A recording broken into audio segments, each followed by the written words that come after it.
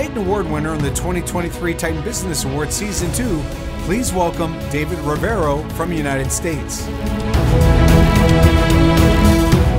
David Rivero won a Gold Award for Entrepreneur in Diversified Services.